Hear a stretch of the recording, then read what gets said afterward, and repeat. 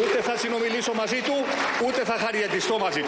Ήταν η φράση του Πρωθυπουργού για τον Νίκο Παπά χθες στη Βουλή που έφερε ξανά στην επιφάνεια την υπόγεια σύγκρουση Μητσοτάκη Σαμαρά. Για πρώτη φορά ο Κυριάκος Μητσοτάκης έστρεψε τα βέλη του έστω και έμεσα στον πρώην Πρωθυπουργό, ο οποίος πρόσφατα είχε θερμή χειραψία με τον πρόεδρο της κοινοβουλευτικής ομάδας του ΣΥΡΙΖΑ. Συνεργάτες του πρώην Πρωθυπουργού μίλησαν ευθέως για επίθεση Μητσοτάκη στο Σαμαρά με πραγματική αιτία τα ελληνοτουρκικά.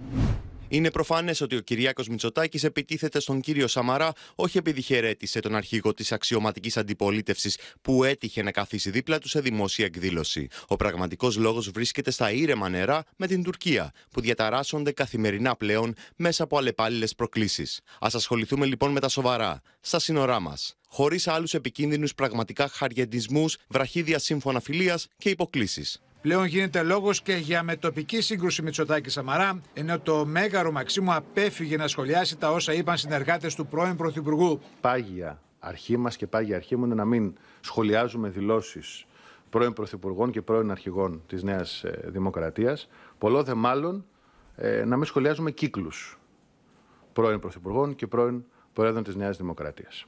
Πιστεύω ότι είναι η κακή χημεία στις διαπροσωπικές σχέσεις των δύο που έχουν αναπτυχθεί. Και οι κακές διαπροσωπικές σχέσεις δεν επιλύονται με ανακοινώσεις των γραφείων τύπου ένθεν και εκείθεν. Δεν υπάρχει κανένα διαπροσωπικό πρόβλημα, δεν θέλω να σχολιάσω. Χαμηλούς τόνους κράτησαν για το θέμα και δύο υπουργοί που μίλησαν στο Open.